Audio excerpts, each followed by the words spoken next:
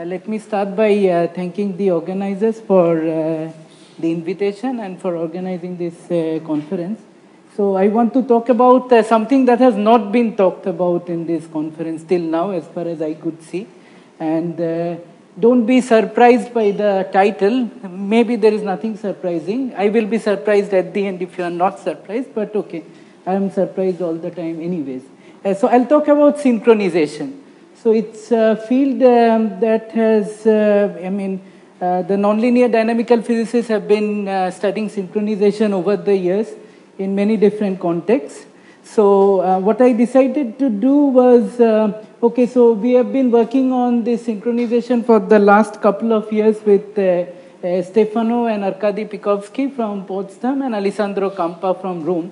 So what I decided to do was to give kind of a an overview of the field and uh, some results that I obtained recently with Alessandro. So as they say, I'll try to uncover a little then cover a lot, uh, just to be, okay. So what do I mean by synchronization? So this one doesn't seem, okay. So let me start with some historical note. Apparently the first observation of synchronization was done by uh, Christian Huygens as, as uh, long time ago as in 19, 1665 this was the time when he had just invented pendulum clocks and uh, he was ill and he was lying on the bed and he didn't have Facebook and iPad and so on to play with, so he was playing with the pendula. So he had suspended two pendula from some wooden uh, uh, frame and what he noted, he wrote this letter to his father. He says it's quite worth noting that when we suspended two blocks, uh, two clocks from two hooks embedded in the same wooden beam, the motions of each pendulum in opposite swings were so much in agreement that they never receded the least bit from each other. So basically what he did was he set these two pendula independently and at some point he found that the two were uh, oscillating in phase. And this was the beginning of, uh, or this was the first observation, first uh, uh documented observation of synchronization.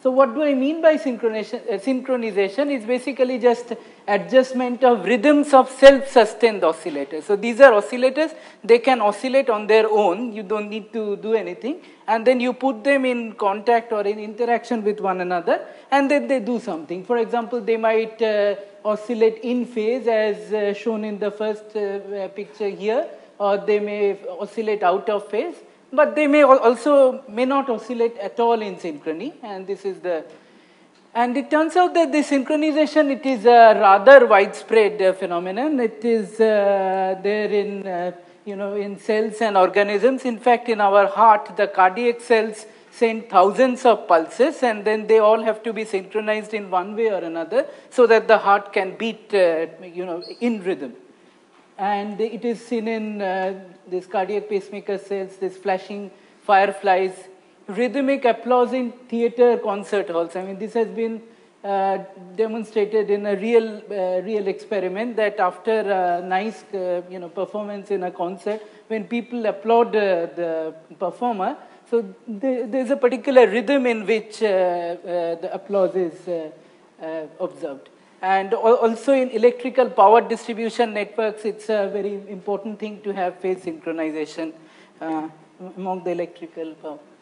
So the path to synchrony, if you think of uh, the experiment that uh, uh, that I talked about on the first slide, see the path to synchrony is first of all what you need is you need some self-sustained oscillators, several of them, not just two, but several of them. And secondly, there has to be some interaction between them which has to be weak because if they are strongly coupled, then okay, there is no point in talking about 10 oscillators.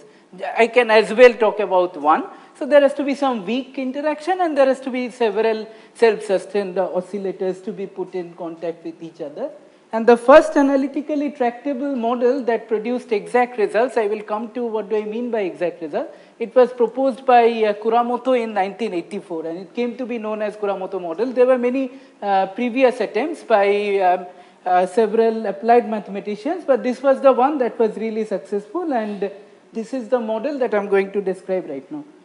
So what is a Kuramoto model? So what you do is that you take n oscillators, self-sustained oscillators, and uh, you put them in contact with each other, namely that you make them globally coupled, that everyone is interacting with everyone else. And each of these oscillators has got its own frequency of oscillation.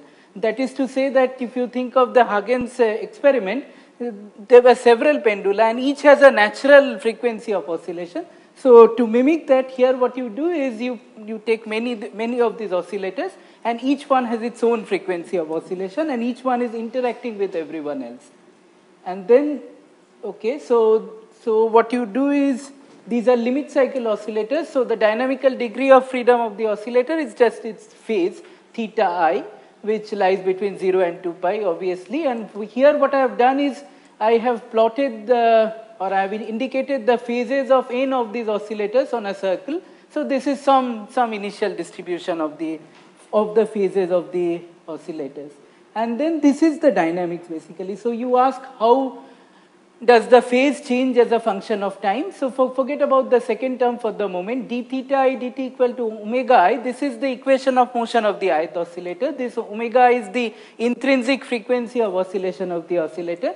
And it's a random variable. It, it varies from one oscillator to another. While the second term is uh, to model the global coupling between the oscillators. Okay, so for example, if theta j is equal to theta i, you see that this term is 0 and so this will mean that the jth and the ith oscillators are in synchrony. So this k is the coupling constant and uh, this 1 by n factor is included just to make this term of order 1 in the limit n going to infinity because if I don't have this 1 by n factor this term will be infinite in the limit n going to infinity. So the second term is the interaction and the first term is the intrinsic frequency and you see that there is a competition between the two terms. What the first term will try to do is, it will try to make every oscillator run at its own frequency because omega is changing from one oscillator to the other. So the first term will try to make everyone oscillate at its own will, while, while, the, while the second term what it will do is it will try to bring, a, bring about a global synchrony. It will try to make, the, make all the oscillators uh, run in synchrony. K is, yes, as I said, K is the coupling constant and this, this omega i's, these are quenched random variables. Like these are random variables which are not changing in time because every oscillator has its own frequency and that's something that doesn't change in time. It's just constant in time. So there is a, there is a corresponding frequency distribution G omega. And the question is what happens if I start with some initial distribution like this and let the dynamics go for some time. So of course we will be interested in the limit of very large number of oscillators, not just two or five. And the steady state is what you observe after you have waited uh, for long enough that you see some time independent behavior. So here what I have done is I am plotting some quantity, don't worry so much of the definition, but it just says what is the fraction of oscillators that are phase locked. Okay? So this is a measure of the synchrony in the system. And what you observe is the following that if k is 0, for example, if k is 0, then this term is, uh, you know, this term is not there, then every oscillator can oscillate at its own frequency. There is no synchrony at all. And that's why this R, fraction of phase-locked oscillators, is precisely 0. And then what you do is you, you crank up the uh, coupling constant little by little, and at some point you see that the interaction, this term, is strong enough to overcome the desynchronizing effect of the first term and what you see is that the fraction of phase locked oscillators, it increases continuously and then like eventually when k becomes very, very large, every oscillator is uh, phase locked. Okay? So this R is like an order parameter in this system. So what you see is that when uh, k is very high, uh, then you have a synchronized phase. When k is low, you have an incoherent phase or unsynchronized phase, whichever way you want to call it. And if the, you know, if the frequency distribution is unimodal, that is to say it is not bimodal or something, it just have one peak, then this, uh, this transition is a continuous transition.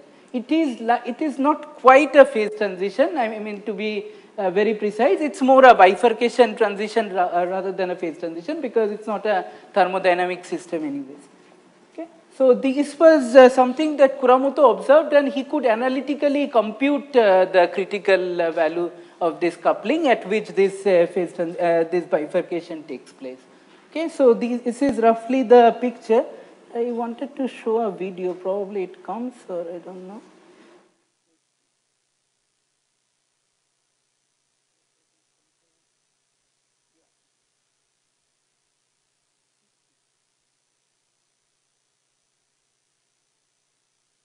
Oh, it, yeah. yeah, it came or no, it didn't came. Okay, forget it. Okay, I had a video that I got from the YouTube, but anyways. So this is the picture that you have this equation of motion, d theta i dt equal to this. And this what I have done is I have plotted uh, the phase diagram as a function of k.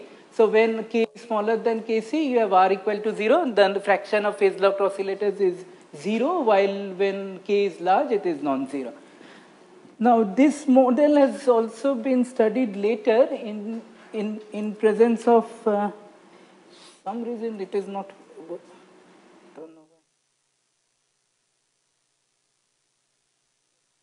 sorry.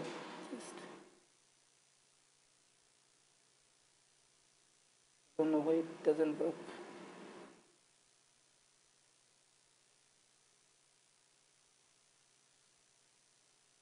okay fine sorry okay uh, so this uh, model it as, such, it involves just a quenched random variable, but it doesn't involve any noise. So this model has been later studied by allowing for fluctuations of these frequencies in time. You say that, okay, there are some in, intrinsic fluctuations in the frequencies as a function of time.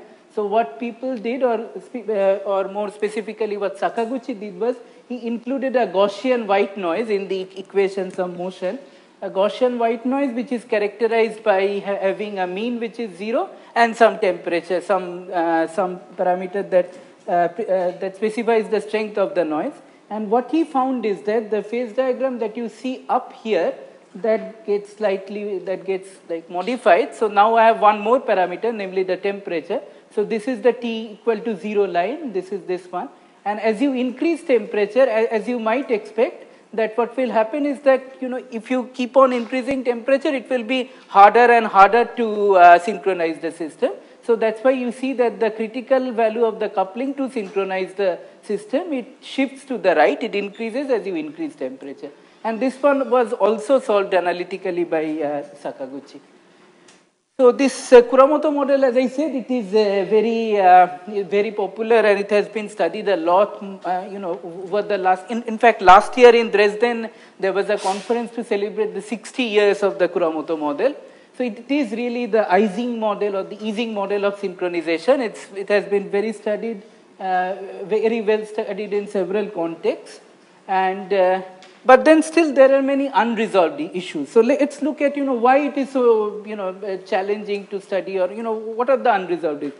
For, for example, till now, you know, a model as simple as uh, Kuramoto model, uh, you know, nobody knows the steady state distribution of phases. If you ask, okay, what, say I start from some initial condition and I let the dynamics run for some time, and then the system will uh, settle into either a synchronized or an unsynchronized phase. So in the synchronized phase, no one knows till date what is the steady state distribution of phases. You know, relaxation to steady state and finite size effects, these also have not been studied. And the obstacles are, first of all, it's a dynamical system, so there is no thermodynamics, there is no entropy to maximize, no free energy to minimize. So that's, you have to really look at the dynamical equations of motion. And secondly, this dynamic, it's a nonlinear uh, uh, differential equation. So exact solution is uh, difficult to obtain. Okay. So I just want to spend uh, uh maybe two three minutes, uh, you know, like relating this Kuramoto model to HMF model. This has been there has been some studies by us showing that this Kuramoto model corresponds to a particular limit of the HMF model. So I'm back to our old friend, namely HMF model. So in the HMF model, you don't have oscillators. What you have is you have some particles which are going around in the uh, on a circle. So every particle has got its, uh, location given by theta i. So this is the angle and the corresponding conjugated momentum. So the equations of motion, as we know, is d theta i dt is equal to pi, and uh, d pi dt is uh, the force, which is uh, exactly the one that you see in the Kuramoto model, namely sine of theta j minus theta i. There is a global coupling. So this is the HMF model. Now suppose what you do is that you keep this system in, like immersed in a heat bath. You know, you put this system in, inside a liquid or something, okay, that can be approximated as a heat bath.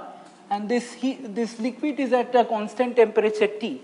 then what will happen is that this uh, energy conserving dynamics will no longer hold. So you will have a Langevin dynamics, namely what you will have is you will have a friction term coming from the interaction with the heat bath and there will be a fluctuation modeled by some Gaussian noise where this strength of this eta it will be given by the temperature. Namely, if I look at the two-time correlation, this is a model. Of course, nobody said that the liquid will be uh, injecting Gaussian fluctuation, but this is a model.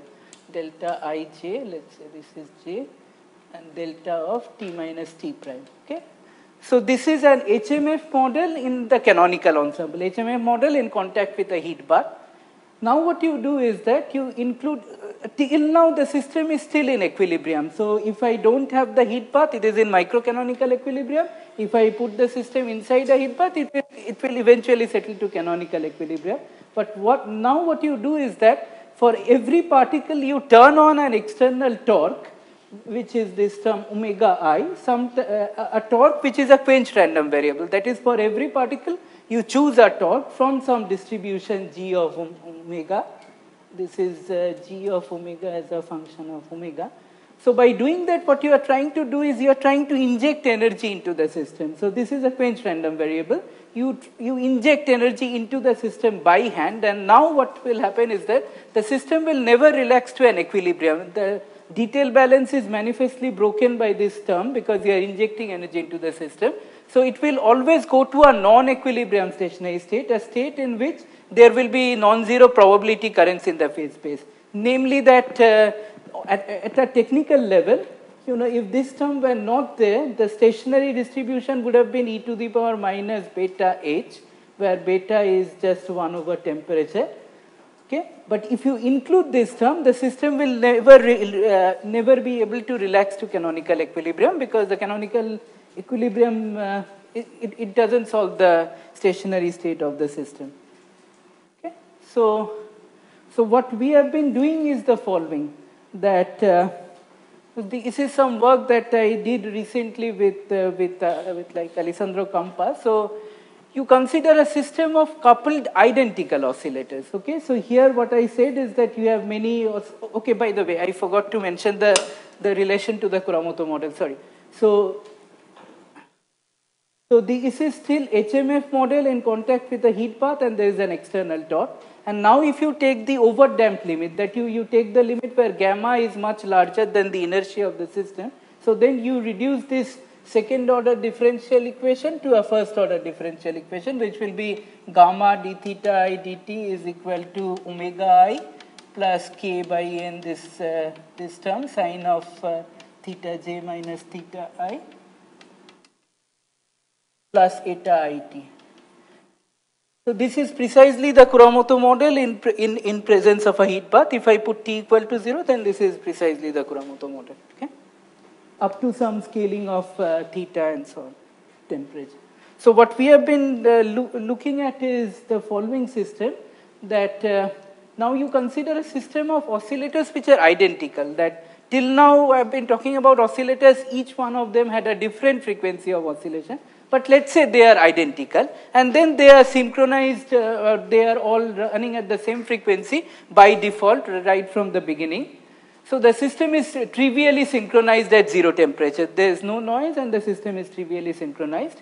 And now what we want to do is we want to study local anisotropy effects. I will uh, specify in a minute what do I mean by local anisotropy effects. So it's basically to model some defect or some something that is intrinsic to every oscillator, some defects in the system and to see how they enhance or destroy uh, synchronization.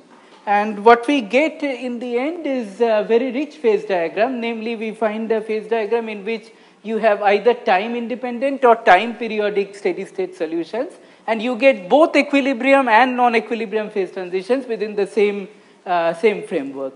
And there is a re-entrant transition in the sense that if you remember Kuramoto model, like in the Kuramoto model, what was happening was that you have to crank, you had to crank up the coupling constant for the system to be synchronized and then the system remains synchronized. While here what happens is that you know, this is some parameter that you tune. So the system is initially synchronized by default because I started with identical oscillators. So as you crank up the this parameter, at some point it loses synchrony. The system is no longer synchronized. But like again, it gains synchrony if I keep on increasing uh, the, uh, the parameter. And this is what is known as a re-entrant transition. Okay.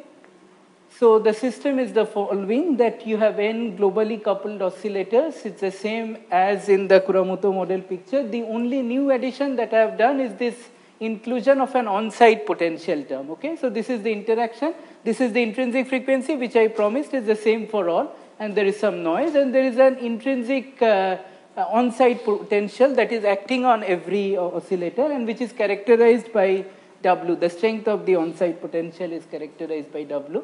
So here are the, uh, so the first thing to note is that the dynamics is not invariant under, you know, you, if you make a Galilean transformation to a co-moving frame, you cannot scale out the effect of this frequency term. This frequency term will remain as such because of this on-site potential term. It's a technical point, not so important. So let's look at some general features of the, of the dynamics. Okay, so the first thing is what does this on-site term try to do? Okay, so this on-site term, what I have plotted this corresponding potential as a function of theta. Okay, so what it tries to do is that it has two minima at 0 and pi. So what this on-site term on its own tries to do is to make thetas crowd around 0 or pi because these are the two points at which the potential has its minima. So this is the effect of the on-site term while the interaction term, as in the Kuramoto model, will try to make all the thetas come together. So this is the effect of the interaction term. And thus on-site plus interaction will lead to some static arrangement of thetas around either 0 or pi. And it will lead to a time independent steady state, just this term and that term. Because this is an interaction that tries to make theta equal to theta j. And this will be minimized if theta is either 0 or pi while the frequency term, what it tries to do, this intrinsic frequency term, what I call a, drive here, this uh, is the tendency of making the thetas come together and crowd around 0 and pi will be opposed by this omega term that will tend to drive the phases at a constant velocity and it will never lead to any time independent state, it will lead to a time periodic state. So there is this competition between a time periodic state or a time independent steady state at long times and the question is, what is the phase diagram like? And of course, if I increase, you know, this is more or less the picture at small temperature, and if I increase the temperature, there will be uh, desynchronizing effects brought about by temperature. So the phase diagram, it turns out, is rather rich. Of course, one has to uh, scale out some parameters and you know reduce the number of uh, uh number of relevant parameters. One trivial limit is when you put W equal to 0, when you put this on-site term equal to 0 and this drive equal to 0, this becomes just the HMF model for which we know that there is a transition between the synchronized or unsynchronized phase at temperature equal to T half. So let me just, so just point out that like when omega is not equal to 0, when you have this term, then the system will go to a non-equilibrium stationary state as opposed to a stationary, as opposed to an equilibrium stationary state. So the phase diagram is the following. Yeah, the question is what happens to the uh, stationary state and do we see synchrony and transitions. So let me skip this one. Let me just show some, uh, you know, the three parameters or the three axes of the phase diagram are like this capital omega and W and T. So these are the three axes. So let me take a look at some slices of this phase diagram. So this is what you see. So this is a temperature equal to 0.3 and the two parameters are W and omega. See, this is the common frequency of the oscillators and this is the strength of the on-site potential. So what you see is that of course if omega is very large, then there is no hope to get a time independent steady state. It will always settle to a time periodic steady state. While if like omega is small, there is a, there is a region where the system settles into a steady state and you might have synchrony that is r not equal to 0 or r not equal to 0 and there could be a first order phase transition in going from synchronized to unsynchronized phase or there could be a second order phase transition. So a first order phase transition will be signaled by having a hysteresis uh, uh, loop as is seen here. while a second order would mean that it will just go continuously from this to that. So what happens is that if the temperature is here somewhere, sorry, if the value of W is somewhere here, then what happens is that you start with the system being in synchrony, but as, you increase the strength of this uh, common frequency, the system becomes desynchronized, which is kind of counterintuitive that all the oscillators were synchronized to start with, but yet they get desynchronized, but eventually they become again synchronized, but then they go to this uh, rotating uh, uh, or time periodic solution. The same thing happens uh, at t equal to 0.5 and uh, if t is larger than 0.5, namely here, then what happens is that you lose this time periodic solution. You are always in a time independent uh, stationary state. And it turns out that this rich phase diagram, namely that there are first order transitions, second order transitions, time periodic steady, uh, time periodic state or time independent steady state, it turns out that everything can be uh, solved for uh, like analytically. I will not bore you with the, with, the, with the analytics, but just to say that what we do is that you go to the limit n going to infinity and you write down the Fokker-Planck equation, which looks a bit complicated, but yet it can be solved for exactly. So this is the stationary state solution. And once you know the stationary state, uh, once you know the stationary state solution, then these different uh, phases that I talked about, namely you have either a steady state unsynchronized phase or a steady state synchronized phase or a time periodic phase, they can be found out by either linearizing the Fokker-Planck equation or doing some self-consistent analysis, but everything is exact and uh, like everything can be done analytically in the limit n going to infinity. So let me just come to the summary. So what I talked about is a system of globally coupled identical oscillators in presence of local anisotropy.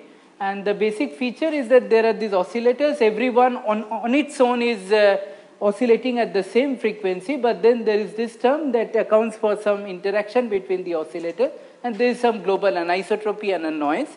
And this system shows an amazingly rich phase diagram, namely it shows every possible scenarios that you can think of more or less that you have either a time independent or a time periodic steady state and synchronized or unsynchronized phases and like everything can be solved for analytically. Okay, so future directions, uh, for example, uh, it would be interesting to study relaxation dynamics to steady state. How long does it take for the system to relax to the steady state and dynamics in the steady state? And effects of inertia, like what happens if I play the same game with the HMF model? There is an anisotropy and there is a drive. And what are the finite size effects that one has to also judge or assess? And uh, thank you for your attention.